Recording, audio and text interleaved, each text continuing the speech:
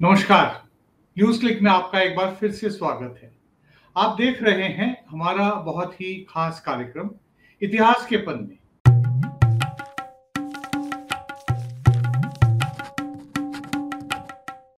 अभी कुछ दिन पहले प्रधानमंत्री नरेंद्र मोदी ने प्रगति मैदान, या जिसको अब भारत मंडपम कहा जा रहा है, वहाँ जाके जो मेन जो सभागृह है, जो कन्वेंशन सेंटर है उसका इनॉग्रेशन किया था। काम ऐसे पूरा नहीं हुआ है, लेकिन प्रधानमंत्री अक्सर इनॉग्रेशन कर देते हैं, उद्घाटन कर देते हैं, काम चलते हुए भी। पिछले साल, एक साल हो गए, पिछले जून में प्रगति मैदान के पास में एक अंडरग्राउंड टनल का का उद्घाटन किया था उन्होंने। उस पर अभी भी काम जारी है। अभी कुछ दिन पहले आप सबने अखबारों में पढ़ा होगा, टीवी चैनल्स में देखा होगा कि बरसात में बहुत पानी भर गई तो कितना काम बचा है उसी के बारे में आप अनुमान लगा सकते हैं। बहरहाल, इतनी टीयरिंग हरी भारत मंडपम को इनॉग्रेट करने के लिए इसलिए थी कि जी ट्वेंटी समिट जो अगले महीने सितंबर में होनी है, वो यहाँ होनी है। यहाँ पे सब लोग एकत्रित होकर वहाँ मीटिंग्स होंगी। ऐसे इनॉग्रेशन की राजनीति काफ़ी पुरानी है मोदी जी की आदत, क्योंकि उनको एसेंशियली मोदी, ये उद्घाटनों में एक भाषण देने का मौका मिलता है। जो उद्घाटन हुआ है उसके बारे में हम बात करेंगे स्पेसिफिकली लेकिन हम आज एक थोड़ा सा विस्तार करके चीज़ों के बारे में बात करेंगे कि किस तरह की आर्किटेक्चर प्रस्तुत की गई है, किस तरह की आर्किटेक्चर शुरुआत की गई है मोदी जी के युग में पिछले नौ साल में। हम उनके मुख्यमंत्री पीरियड में भी देख सकते हैं कि उनको बहुत ग्रैंड एलैबोरेट स्केल पे बिल्कुल uh, सीना चौड़ा करके खड़े होने वाले स्ट्रक्चर्स हमेशा से पसंद थे। uh, जब प्रधान जब मुख्यमंत्री थे गुजरात के तब उन्होंने सरदार पटेल की वो वर्ल्ड रिकॉर्ड को तोड़ने वाली स्टैचू उसका प्रोजेक्ट शुरू किया था। तो हम इन सब चीज़ों के बारे में बात करेंगे कि आखिरकार इस तरह की जो आर्किटेक्चरल विजन है ये हिंदुस्तान की जो पुरानी जो ट्रेडिशन थी जो आज़ादी के बाद से प्रोजेक्ट की जा रही थी जिसको हम लोग एक तरह से सेक्युलर आर्किटेक्चर कहते थे, उसको एक तरह से हिंदुआइज्ड आर्किटेक्चर के तौर पे पेश किया जा रहा है। कई बार समझ में नहीं आता कि सेक्युलर कन्वेंशन सेंटर बन रहा है या फिर किसी मंदिर का निर्माण हो रहा है। इन सब चीज़ों के बारे में हम बात करेंगे। हमारे विशेषज्ञ हैं राम रहमान जी, जो जो बहुत ही मल्टी फैसेटेड टैलेंट है मूलतः फोटोग्राफर हैं और फोटोग्राफी में भी इनकी जो स्पेशलाइजेशन है, वो है बिल्डिंग्स की फोटोग्राफी आर्किटेक्चरल फोटोग्राफी में इनका बहुत नाम और ख्याति है। राम रहमान मेरे बहुत सालों से मेरे परिचित हैं और मैं बहुत करीब से इनका काम देखा हूँ और इनके ये, इनका जो परिवार है, वो भी बहुत ही इलस्ट्रियस परिवार है। इनके पिताजी थे हबीब रहमान साहब जो जो सीपीडब्ल्यूडी के चीफ आर्किटेक्ट थे दिल्ली में या हिंदुस्तान के अलग अलग जगह में बहुत ही लैंडमार्क बिल्डिंग्स आपको देखने को मिलेंगी जो उन्होंने डिज़ाइन किए थे जिनका आर्किटेक्ट वो, वो होते थे। उनकी राम रहमान की माताजी इंद्रानी रहमान थी जो क्लासिकल नृत्य करती थी भरतनाट्यम कुचिपुडी ओडिसी कई तरह के जो डांस फॉर्म्स थे, उनमें उनकी एक्सपर्टीज थी। हिंदुस्तान की ये भी बोला जाता है इंद्रानी जी के बारे में कि वो हिंदुस्तान की पहली मिस इंडिया भी थी। उन्नीस पचास के दशक की बात मैं बता रहा हूँ। तो राम साहब, सबसे पहले तो हमारे इस कार्यक्रम में आने के लिए बहुत धन्यवाद। हम लोगों ने एक थोड़ा सा अलग हटके सब्जेक्ट चुना है, क्योंकि आप बहुत अच्छी तरह से समझा पाएँगे कि आर्किटेक्चर के थ्रू किस तरह से एक सटल हिंदुत्व की राजनीति एक तरह से इंडिविजुअलाइज ग्लोरी की सर्च हो रही है। हमारे कार्यक्रम में जुड़ने के लिए बहुत बहुत धन्यवाद नमस्ते नील, निरंजन जो पुराने दोस्त हैं और पुराने आ, साथी। जी। फेलो ट्रैवलर जी। फेलो ट्रैवलर तो आप हाँ आप बताएँ कहाँ से शुरू करें?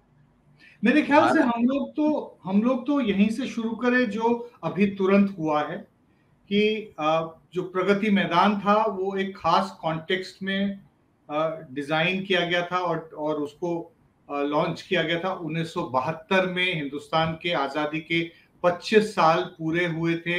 हिंदुस्तान को एक मेजर इंडस्ट्रियल और यू नो पावर के तौर पे एस्टैब्लिश करने के लिए एशिया 72 का एक एग्जीबिशन हुआ था। राज रहवाल जो उस पीरियड के जो बहुत जाने माने आर्किटेक्ट थे जिनके तमाम आर्किटेक्चरल सिग्नेचर्स आपको हिंदुस्तान के अलग अलग शहरों में देखने को मिलेंगे वो उस प्रोजेक्ट के साथ जुड़े हुए थे। उसको पिछले चार पाँच सालों में खासतौर से 2019 के बाद से उसको पूरी तरह से डिमोलिश कर दिया गया। कि जैसे लगता है कि बिल्कुल एक पास्ट को इरेज कर दिया और हाँ। एक नए प्रधानमंत्री ने अपनी कल्पना हिंदुस्तान की कल्पना भारत की जो छवि वो प्रोजेक्ट करना चाहते हैं उसको प्रेजेंट कर दिया इसी के साथ साथ हम लोग आप मतलब फ्री होंगे कि आप सेंट्रल विस्ता के बारे में भी बात करेंगे क्योंकि तो पिछले साल सेंट्रल विस्ता का इनोग्रेशन प्रधानमंत्री ने किया था राजपथ का नाम कर्तव्य पथ रख दिया था पिछले पाँच छह साल से सरकार ने और मोदी जी ने और राष्ट्रीय स्वयंसेवक संघ ने राइट्स पर कम एम्फोसिस दिया है बल्कि ये बोला है कि नागरिकों की का कर्तव्य पहले है और उसके बाद उनके हक बाद में आते हैं। तो हम्म। हकों की बात मत करिए पहले अपना कर्तव्य का पालन करें। आपसे सुनना चाहेंगे इन सब चीज़ों के बारे में अब मुझे थोड़ा सा बैक सीट लेना चाहिए और आपकी बात सुन ठीक है। एक्चुअली प्रगति मैदान से हम शुरू करते हैं। जी आ, उसका उद्घाटन एक्चुअली उन्नीस सौ बावन फिफ्टी टू या फिफ्टी थ्री में हुआ था। बिल्कुल आज़ादी के बाद आ, मेरे पिताजी हबीब रहमान जो अमेरिका में पढ़ के आए थे आर्किटेक्चर एमआईटी वो उन हिंदुस्तानियों में से उस टाइम ज़्यादातर हमारे जो इंजीनियरिंग या आर्किटेक्चर पढ़ने के लिए जाते थे वो इंग्लैंड जाते थे क्योंकि वो हमारा कनेक्शन था इंग्लैंड के साथ वो राज कर रहे थे हमारे ऊपर। लेकिन शायद पाँच छह ऐसे इंजीनियर आर्किटेक्ट थे 1940 के दश, दशक में जो अमेरिका गए थे। और मेरे फादर को वेस्ट बंगाल वो वो थे कलकत्ता के। उनको एक ये मिला था ग्रांट या MIT जाने के लिए जो बहुत मशहूर यूनिवर्सिटी है बॉस्टन में बॉस्टन तो जब वो वापस आए उनका पहला प्रोजेक्ट कलकत्ता में था गांधी घाट। जी। जो गांधी का उन्होंने पहला ये स्मारक बनाया था उनके हत्या के बाद एक हम्म। साल बाद। 48 में नहीं 49 में 48 में उनकी हत्या हुई थी ये वो वाला है जो जो कलकत्ता का जो सबब बैरकपुर है वहाँ पे हाँ, उसकी उसके बारे में बात कर रहे हैं आप। हाँ बिल्कुल और उसको वो जो उन्होंने बनाया उनकी ट्रेनिंग एक्चुअली बाउ हाउस जो जर्मनी की जो स्कूल थी जो हिटलर ने बेसिकली uh, उस पर रोक लगाया था और सारे जो उस टाइम के आर्किटेक्ट थे वो या इंग्लैंड या अमेरिका भाग गए थे। जी। तो उनमें से एक थे वॉल्टर ग्रोपियस जो हार्वर्ड में सिखा रहे थे। और उनके उनका असर बहुत हुआ मेरे फादर के ऊपर। और वो जो शैली थी उन्होंने जो प्रमोट किया था उस टाइम 1920 से लेकर मॉडर्निज्म आर्किटेक्चरल मॉडर्निज्म जो क्लासिकल स्टाइल्स थे यूरोप में जो उनके जो रूलर्स थे या राजा थे, वो बड़े बड़े इमारत, बड़े सजावट के साथ, महँगे वस्तुओं के साथ बनाते थे। इनका सोशलिज्म कम्युनिज्म से जोड़ हो गया था इन डिजाइनर्स का। उन्होंने सोचा कि हम ऐसा कुछ बनाएँ जो आम आदमी के लिए हो और जो नॉर्मल जीवन से जुड़ा हो। स्टाइल में और बनने में और एक तरह का वो बिल्डिंग्स ऐसे बनाए कि वो लोग ये ना समझे कि ये हमारे लिए नहीं है कि हम इसमें नहीं जा सकते ये बहुत सजावट वाली बिल्डिंग है वगैरह। तो जब आज़ादी के बाद नेहरू को ये गांधी घाट बहुत पसंद आई थी और उन्होंने कहा कि फादर को कि आप दिल्ली आओ क्योंकि हमें बहुत कुछ बनाना है हमारे शहर में। अब ये नया जमाना आया है नया स्वाधीनता तो हमें अप, अपना कुछ बनाना है। और जो पहला एग्जीबिशन था वहाँ पे वो हाउसिंग पे था इंटरनेशनल हाउसिंग 52 53 में। और हम्म। उसमें मेरा मेरे पापा जो आए थे सीपीडब्ल्यूडी में उस टाइम वो सीनियर आर्किटेक्ट थे हम्म। उन्होंने उसका प्लान बनाया था और पूरे देश से लोग आए छोटे छोटे घर बनाए उन्होंने वहाँ पे दिखाने के लिए कि ये हो सकता है ये आ, कम दाम में अच्छा कुछ हम बना सकते हैं मास स्केल पे तो उस उस टाइप का जो आइडियल था उन लोगों का वो हम्म। था आम जनता के लिए ये नहीं था कि कुछ हम बहुत आ, सजावट फैंसी के लिए नहीं था।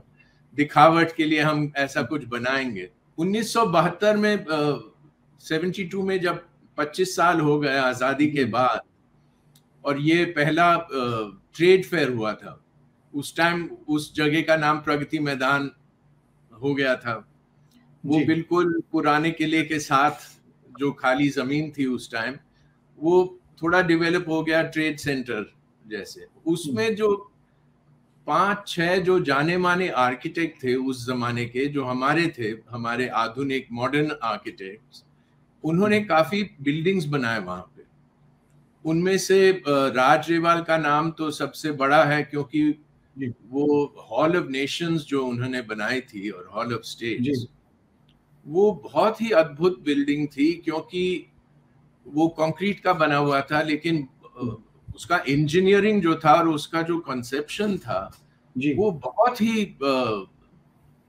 अजीब एडवांस्ड और हाँ जिन्होंने भी वो बिल्डिंग देखी है वो वाकई हमेशा चकित रह जाते थे कि ये किस तरह से इसका स्ट्रक्चरल डिज़ाइन कैसा है। हाँ और वो कैसा खड़ा है क्योंकि वो हाँ, जो राज रिवाल कहते थे वो उसका जो इंस्पिरेशन था वो मुगल जालियों से आया था। जी। लेकिन उन्होंने उस जाली को थ्री डिमेंशनल बना दिया ऑब्जेक्ट क्यूबिक शेप्स के, के हाँ, और ये आ, आ, आ, जैसे उन्होंने ये स्ट्रक्चरल डिज़ाइनर जो थे इंजीनियर वो थे महेंद्र राज जिनकी डेथ अभी शायद दो साल पहले हुए। वो बहुत दुनिया के सबसे टॉप इंजीनियर्स उन, उनका नाम है, उन उन इंजीनियर्स में, पूरे दुनिया में। और खासकर वो कंक्रीट के इंजीनियर थे। उन्होंने शुरू, शुरुआत की ले कोबूजिए के साथ जब चंडीगढ़ बन रही थी और फिर दिल्ली आए थे। तो ये हिस्ट्री बिल्कुल जुड़ा हुआ है कि वो जैसे पार्टीशन के बाद पंजाब का जो नया शहर बना चंडीगढ़ नेहरू का ये कंसेप्शन था कि ये पूरे दुनिया के लिए एक सिंबल बने कि मॉडर्न आर्किटेक्चर जो आगे फ्यूचर के बारे में सोचते हैं एडवांसमेंट लेकिन सिंपल मटेरियल के साथ क्योंकि हमारे देश में हम यू you नो know, अंग्रेज़ों ने हमें लूट लिया था 200 साल। मेरे ख्याल से एक और चीज़ जो मेरे को समझ में आता हूँ मैं पूछ रहा हूँ आपसे हाँ. कि क्या इन बिल्डिंग्स के डिज़ाइन इनके आर्किटेक्चर के पीछे ये भी था कि इसको पूरी तरह से इसका जो बेसिस होना चाहिए रूट्स होने चाहिए वो पूरी तरह से सेक्युलर हो उस तरह से नहीं जैसे भारत मंडपम के बारे में ऑफिशियली बोला जाता है कि ये इस तरह के टेंपल फॉर्म्स को आगे फर्दर डेवलप किया है तो कई बार ये लगता है कि पुराना जो सेक्युलर ट्रेडिशन था उसको बिल्कुल दरकिनार करके उनको डिमोलिश करके नए किस्म के स्ट्रक्चर्स खड़े किए जा रहे हैं जिनकी आर्किटेक्चरल रूट्स हम लोग टेंपल आर्किटेक्चर में ढूंढ सकते हैं। वेल यू नो स्टाइलिस्टिकली ये जो नए बिल्डिंग जो बन रहे हैं जो जैसे uh, ये राजवाल थे मेरे फादर थे हबीब uh, अच्युत कानविंदे वो भी हार्वर्ड से पढ़ के आए थे 1950 से पहले दिल्ली। उन्होंने दिल्ली में बहुत बड़े बड़े बिल्डिंग बनाए बहुत उनका मशहूर आईआईटी कानपुर का बिल्डिंग है। जी। तो ये ये जो आर्किटेक्ट थे जो मटेरियल यूज़ कर रहे थे वो बिल्कुल आधुनिक था और लोकल था। लोकल पत्थर लोकल ईंट क्योंकि उस टाइम हमारे पास स्टील भी नहीं था इतना। ना बड़ा ना बड़ा ग्लास था। इसलिए जो हॉल ऑफ़ नेशंस बना था वो स्टील से नहीं बना था। अगर कहीं और किसी और देश में बनता दुनिया में वो स्टील से बनाते। लेकिन ये बिल्डिंग बिल्कुल जैसे हाथ का बना हुआ है। जो कारीगर थे हरियाणा के राजस्थान के पंजाब के यूपी के वो छोटे छोटे गाँव से आए थे और उन्होंने इतना अजीब सा बिल्डिंग अपने हाथों से बनाया कि वो दुनिया में उसका ज़िक्र हुआ कि ये कैसे बिल्डिंग बनी है आप तो जो आप कह रहे हो कि मोदी के युग में उनके उन, उनके जो राजनीतिक जैसे ये बिल्डिंग बन रहे हैं इनका एक्चुअली कनेक्शन हमारे इंडिया से बहुत कम है जैसे भारत मंडपम आप देखें वो हम्म। लगता है कि किसी टाइप का मालूम नहीं फ्लाइंग सॉसर या स्पेस से आया हुआ है। कहने को बोलते हैं कि ये शंख के शेप का है। वो एक्चुअली शंख शंख हाँ। शंख लगता नहीं है लेकिन वो नहीं है। मैंने काफ़ी कोशिश किया उसके फ़ोटोज़ को अलग अलग दिशा से जो फ़ोटो खींचे गए हैं उनको देख के समझे कि यहाँ किस एंगल से शंख लगता है। तो लेकिन जो टेक्स्ट लिखा है उसके आगे और कहीं मुझे शंख का रिजेम्बलेंस दिखा नहीं। नहीं उनका एक्चुअली ये जो जो आप सेक्युलरिज्म की बात कह रहे हैं ये जो नए बिल्डिंग जैसे नया पार्लियामेंट का उद्घाटन हुआ या ये भारत मंडपम जिसका नाम रखा हुआ है ये एक्चुअली है हमारे जनतंत्र के लिए खास पार्लियामेंट लेकिन उसका उद्घाटन इन्होंने कैसे किया? वो सारे ये पुरोहित। हवन हुआ वगैरह वगैरह। ये तो बिल्कुल हिंदू रिलीजियस सेरेमनी था। और वो सेंगोल को उठा के ले आए और हाँ। उसको उसके ऊपर एक फॉल्स हिस्टोरिकल नैरेटिव सबके सामने पेश करने की कोशिश की जबकि इतिहास में कुछ ऐसा था ही नहीं। एक सेरेमनी हुई थी लेकिन उसका कोई उस तरह से symbolic value of transfer of power का था ही नहीं। नहीं सेम ये बिल्कुल वही हुआ भारत मंडपम में क्योंकि फिर वहाँ हवन हुई और पूजा वगैरह जैसे ये गए थे बनारस जब उन्होंने देखो बनारस के साथ क्या किया इन्होंने जो बहुत जी। पुराना शहर ऐतिहासिक शहर वो सारा उन्होंने तोड़ दिया गंगा से लेकर ये मंदिर तक और बिल्कुल बिना किसी कैरेक्टर के साथ ऐसा एक पत्थरों का ये कंक्रीट के कॉरिडोर हाँ, बना दिया। और पत्थरों का ये शहर को एक्चुअली बांट दिया काट दिया बीच में। और जो उसमें जो लाइफ थी जो दुनिया से लोग आते थे बनारस को देखने पुराना शहर और पुराना इतिहास जो था उसको बनाने में उतने उन्होंने कितने छोटे छोटे मंदिरों को तोड़ा है। नहीं। जो उस इलाके में थे। सही सही आप बोल रहे हैं। मेरे को मेरे बचपन की यादें जुड़ी हुई है बनारस के साथ और वही ऐसी चीज़ें सोमनाथ में देखने को मिलता है जहाँ पत्रकार के हैसियत से कई बार जाने का मौका मिला। धर्म में विश्वास ना रखते हुए भी वहाँ एक अजीब किस्म की सिरिनिटी मिलती थी।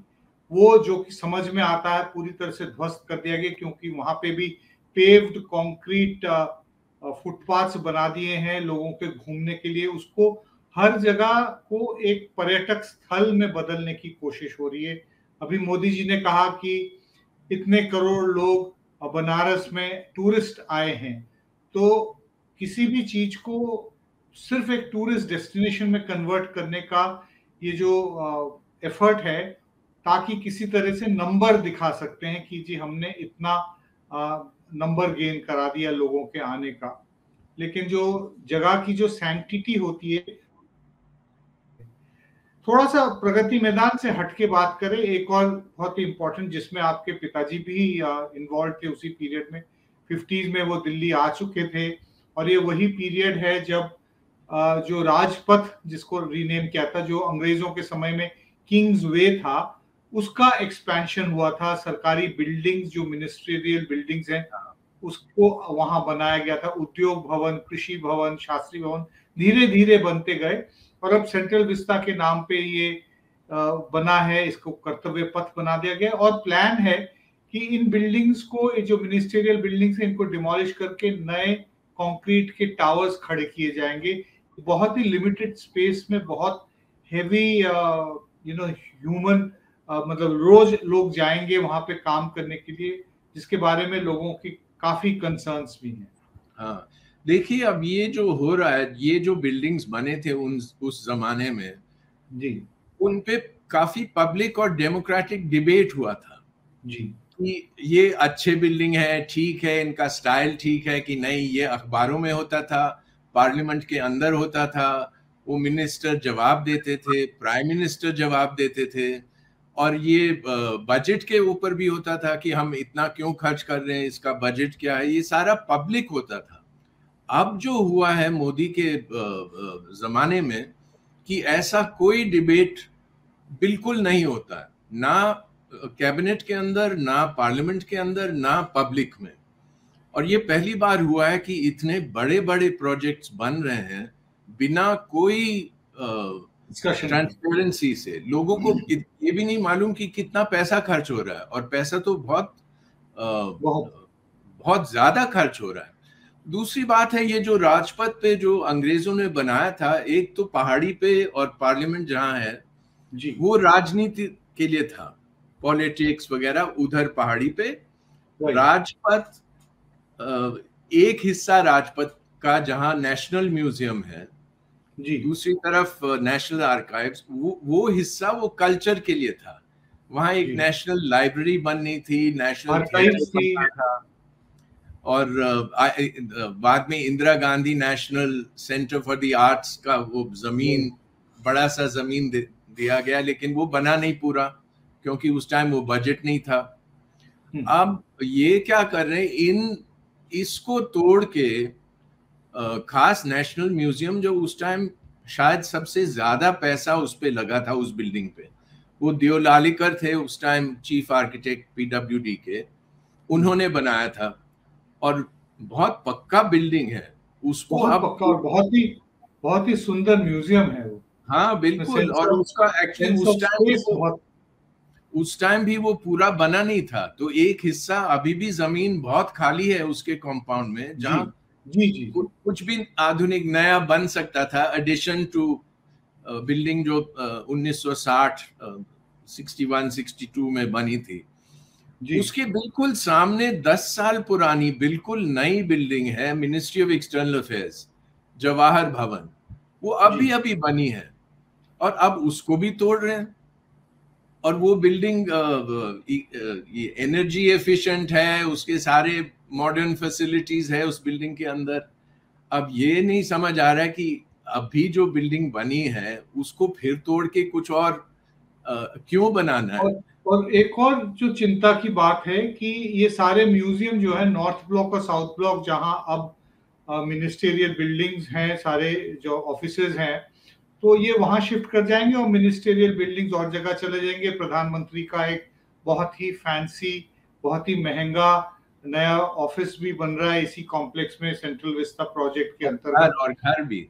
और इन म्यूजियम्स में जो सबसे बड़ा खतरा है जो आपने जो डेमोक्रेटाइजेशन की जो बात की कि जिसका इरोजन हो गया कि उस समय बहस होती थी इन म्यूजियम्स में क्या रखा जाएगा किस तरह से रखा जाएगा क्या इतिहास पेश किया जाएगा इसके बारे में सिर्फ़ ब्यूरोक्रेट्स तय कर रहे हैं पॉलिटिकल लीडर्स तय कर रहे हैं भारतीय जनता पार्टी से जुड़े हुए।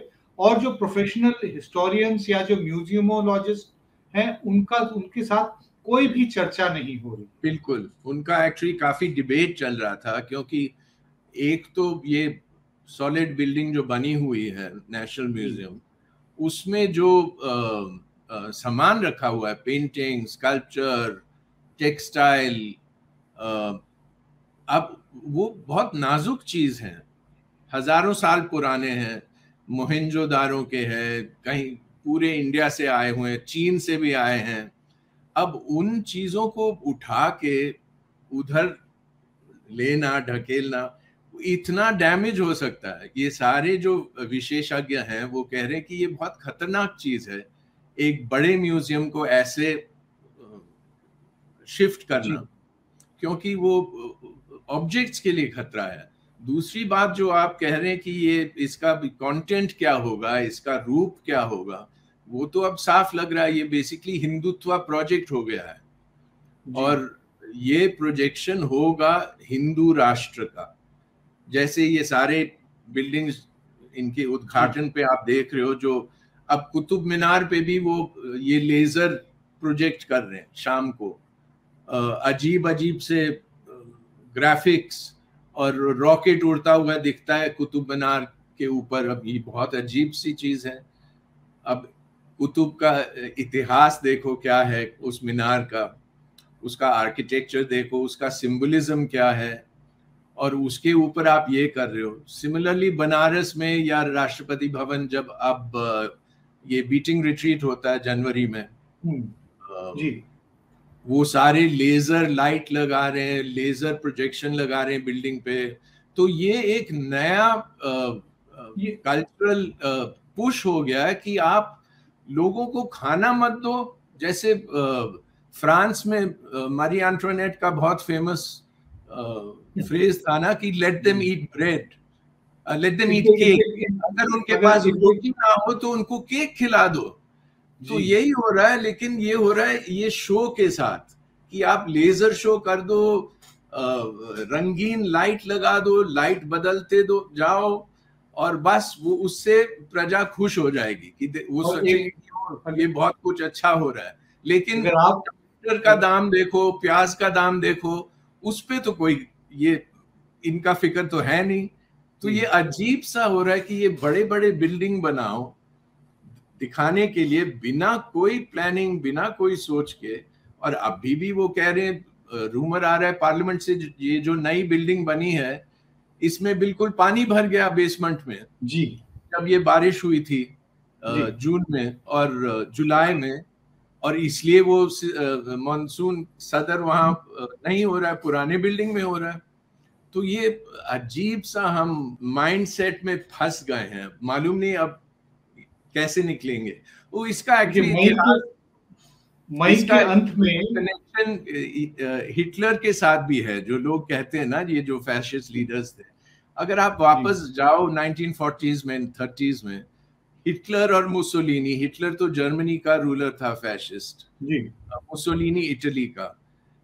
इन दोनों ने ऐसे बड़े बड़े आर्किटेक्चरल प्रोजेक्ट्स का उन्होंने सोचा हम बनाएँगे निर्माण। हिटलर का बहुत फ़ेमस कनेक्शन था एल्बर्ट एल्बर्ट स्पियर जो जर्मन आर्किटेक्ट था। वो बन गया जैसे हमारे ये विमल पटेल हैं यहाँ पे जो एक सिंगल आर्किटेक्ट बन गया मोदी का। एल्बर्ट स्पियर थे जर्मनी में उस टाइम और हिटलर का आइडिया था कि आधा बर्लिन को बिल्कुल मिटा के एक बहुत बड़ा जर्मानिया बनाए। और उसके अगर आप मॉडल देखें आप वो भी बड़े बड़े बिल्डिंग डोम वाले बिल्डिंग लेकिन अच्छा हुआ कि वो कुछ बना नहीं क्योंकि वो हिटलर युद्ध में हार गए। लेकिन ये जो ऐसे जो लीडर हैं जो एंटी डेमोक्रेटिक हैं वो सब यही सोचते हैं। स्टालिन ने भी थोड़ा किया था रशिया में ऐसे बड़े बड़े you know grand building Rome सोच के कि हम जैसे रोम था वैसे हम कुछ बनाएँगे। तो ये ऐसे जो लीडर्स हैं, इनके दिमाग में ये विजन आता है कि हमारे नाम पे हम कुछ ऐसा कुछ इतिहास अपने यू नो तीस चालीस साल, सौ साल बाद लोग याद करेंगे कि इतना बड़ा बनाया इन्होंने।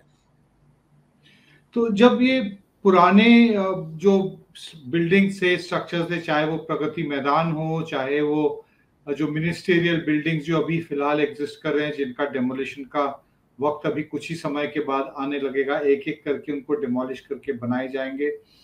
तो इसमें जो आप तो काफ़ी इंटीमेटली जुड़े हुए हैं जो आर्किटेक्चरल जो कम्युनिटी है हिंदुस्तान में उन लोगों को उन लोगों की क्या रिएक्शंस हैं इन सब चीज़ों के बारे में उनको कैसा लगता है? अपने अपने सोच के जो बिल्डिंग्स है उनको नष्ट होते देखते हुए। नहीं देखिए ये जो ऑफ़िस बिल्डिंग्स हैं ठीक है वो प्रैक्टिकल बिल्डिंग्स थे। वो आ, लेकिन थोड़ा बहुत उनमें आर्किटेक्चरल स्टाइल भी है। जैसे आप शास्त्री भवन देखें जी। आ, उस टाइम नेहरू ने कहा था कि देखो हमारे जो कलाकार हैं जो आर्टिस्ट हैं जो स्कल्प्टर हैं उनको काम दिया जाए। और शास्त्री भवन में बड़े बड़े ये म्यूरल्स म्यूरल्स बने हुए सतीश गुजराल के। जी। और वो बहुत मशहूर हो गए। अब उनका क्या होगा जब वो बिल्डिंग को तोड़ेंगे ये तो आर्ट हिस्ट्री का हिस्सा है। और आजकल उनका जो वैल्यू है वो उस टाइम जो हमारी कल्चर थी उसका नमूना है। और वो बहुत सुंदर है। वो हाथ से बने हुए सिरेमिक से बने हुए। तो खास ये जो रिएक्शन हॉल ऑफ़ नेशंस पे हुआ था हमारे आर्किटेक्ट्स और इंजीनियर्स क्योंकि वो ना सिर्फ़ आर्किटेक्चरल इंजीनियरिंग फीट भी था। लेकिन वो इंजीनियरिंग फीट भी था और वो पूरे मैंने कहा कि दुनिया के लिए ये फीट वो दुनिया उसको मानती थी। और अब भी एक्चुअली उस बिल्डिंग का इतिहास बाहर के म्यूजियम्स में दिखने जा रहा है। अभी विक्टोरिया अल्बर्ट म्यूज़ियम में होगा अगले साल मार्च में exhibition museum modern art New York में था पिछले साल। उससे पहले पेरिस में पॉम्पिडू सेंटर में राजेवाल का बड़ा एग्जीबिशन था। हम्म। तो ये आ, हमारे आर्किटेक्ट्स को अब ये लग रहा है कि उनका कनेक्शन जो था नेशनल बिल्डिंग बनाने में वो गया। क्योंकि अगर आप देखें ये जो भारत मंडपम बना है या हम्म। अंबानी ने जो अभी बंबई में कन्वेंशन आर्ट सेंटर बनाया ये दोनों ऐसे फर्मों ने बनाए जो बाहर के हैं। एक तो टेक्सस का है एक हांगकांग का है। और ये फर्म तो कमर्शियल फर्म है। इनका आर्किटेक्चरल वैल्यू कुछ है ही नहीं। और जो मटेरियल वो यूज़ कर रहे हैं वो दुनिया में कहीं भी हो सकता है। तो ये बिल्डिंग ठीक है बंबई में बना या दिल्ली में बना है लेकिन ये तो कहीं भी बन सकता है। इसका हमारे देश से कोई लेना नहीं देना है कल्चरली वो सिर्फ़ आप थोड़ा वो ब, ब, लोटस का सिंबल या मोर का पंख लगा दें उससे कोई मतलब नहीं है। वो कारपेट लगा दो या कुछ पेंटिंग बना दो लेकिन वो बिल्डिंग का जो सब्सटेंस है जो उसका कोई हमारे देश से कनेक्शन नहीं है। ये तो कहीं भी बन सकता है। एक्चुअली वो जो आप कह रहे थे ना पटेल स्टैचू गुजरात में। हम्म, जी। अब हंसने की बात है कि वो पूरा स्टैचू तो चीन में बन के आया है। और उसका जो बेस है वो अमेरिकन आर्किटेक्ट ने बनाया न्यूयॉर्क से। तो उसमें कोई हमारा हाथ ही नहीं है। वहाँ जाके कोई मेड इन इंडिया की बात नहीं मेड इन इंडिया की बात है ही नहीं उसमें।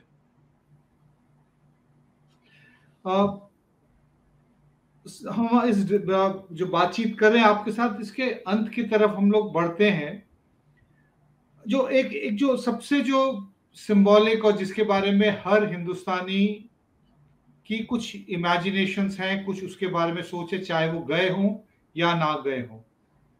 अहमदाबाद में साबरमती आश्रम। वो गांधी जी की सिंप्लिसिटी के साथ जुड़ी हुई है। हाँ बिल्कुल। उसको भी पूरी तरह से रेनोवेट करने की कोशिश की जा रही है। इसके बारे में ओपेसिटी तो हर जगह है बहुत कम हमें पता है कि एग्जैक्टली क्या करना चाहते हैं।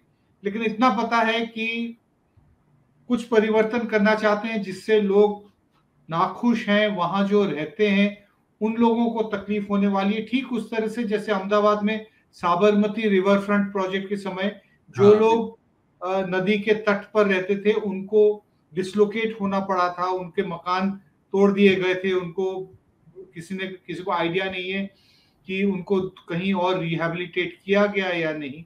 नहीं तो साबरमती आज हम्म, मैं मिला उनसे। ओके। कोई रिहेबिलिटेशन तो बताइए और साबरमती आश्रम के बारे में अपने विचार बताइए। इसका जो रीडेवलप साबरमती का जो रिवर फ्रंट बनाया है वो वो कंक्रीट का टैंक है वो जैसे बाँध बना हुआ है और वो पानी ज़्यादा वो नर्मदा पानी से आ रहा है। वो जो नदी थी जब मॉनसून आता था वो भर जाता था पानी से। बाकी महीनों में वो पतला सा पानी का ये होता था रेत में। और वहाँ इकोलॉजी था। ये जो अहमदाबाद में बहुत मशहूर टेक्सटाइल का जो काम होता है वो बहुत उस साबरमती के बेस पे होता था। ये जो छपाई का काम है हैंड ब्लॉक प्रिंटिंग रंगरेज थे वगैरह वो सारा वहाँ से हटा दिया। और एक ऐसा टैंक बना हुआ है जिसमें पानी वो बहता भी नहीं है और वो पानी सड़ जाता है वहाँ पे। और वो बिल्कुल गांधी जी के आश्रम के सामने है। ना वो आश्रम जो गांधी ने सोचा सिंपल लाइफ। जुड़ा हुआ इन्वायरमेंट के साथ बकरियों के साथ पेड़ों के साथ अपना बुनना अपना वो चरखा चलाना जो आप पहन रहे हो अपना चप्पल बनाना वो उनका कल्चर था। और जो आश्रम में जो उनका जो छोटा सा कुटीर है वो तो पूरे देश और दुनिया में फ़ेमस है। और उनके जो छोटे चश्मे खड़ाऊ छोटा सा पेन और घड़ी इतना पावरफुल सिंबल था इस आदमी का कि इतना इस आदमी ने पूरे दुनिया को हिला दिया और अंग्रेज़ों को उसने भगा दिया यहाँ से। सिर्फ़ इन चीज़ों के साथ और अपने अपने दिमाग के साथ। साबरमती में भी करीबन 1963-64 में शायद चार्ल्स कोरिया हम्म। जो बहुत मशहूर कंटेम्प्रेरी आर्किटेक्ट थे उस टाइम उन्होंने बहुत सुंदर सा म्यूज़ियम बनाया था। जी। वो था बिल्कुल मॉडर्न बिल्कुल आधुनिक लेकिन उस उसमें जो उसमें जो रस थी वो बिल्कुल गांधी गांधीयन थी। वो सिंपल स्ट्रक्चर था जैसे खुला हुआ कॉर्टयार्ड सिंपल पत्थर ईंट ऊपर से टाइल्ड ना वो जो जैसे ये भारत मंडपम है ना हम्म।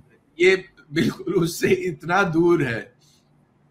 और उस टाइम जैसे ये जो शुरुआत में हमने की थी ये गांधी घाट उसका भी ऐसे ही कुछ हाँ गांधी घाट भी एक तरह से उसी को उसी को मिरर करता था हाँ, वो आइडिया तो वही था कि थोड़ा गांधी का जो स्पिरिट था जो आ, कि वो वो रिफ्लेक्ट हो बिल्डिंग में और उस जगह में जहाँ कोई जाए उनको कुछ लगे।